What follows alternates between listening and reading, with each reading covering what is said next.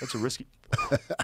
So risky the, the whole a remember, uh, I, don't know if you remember, but I've I brought this up on the podcast before, and I don't know if it's true. I hear it. No, uh, you got we didn't have a, de- a debunking website or whatever, but um, the saying that the entire population of the world, whatever it is, seven billion or something, can all fit in Texas or Alaska in their own house. Remember that?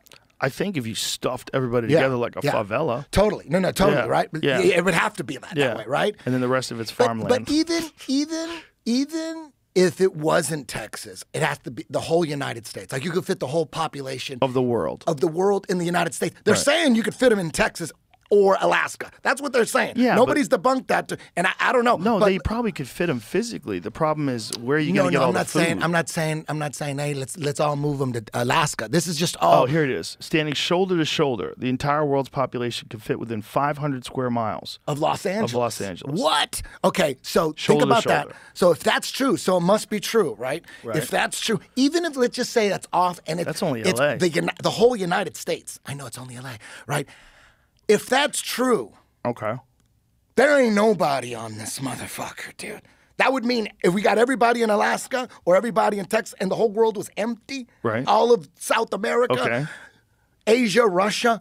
To me, that means this overpopulation bullshit is a fucking myth, man. But wait That's a minute, myth. that doesn't make any sense because what they're saying in this Los Angeles thing is people stand shoulder to shoulder. Yeah, I'm You just saying if that's like true, if that's no, no, I'm not saying to live that way. I'm just saying if you can do that, if you could fit the whole population that, then just you by think size, there's plenty of room for everybody. dude.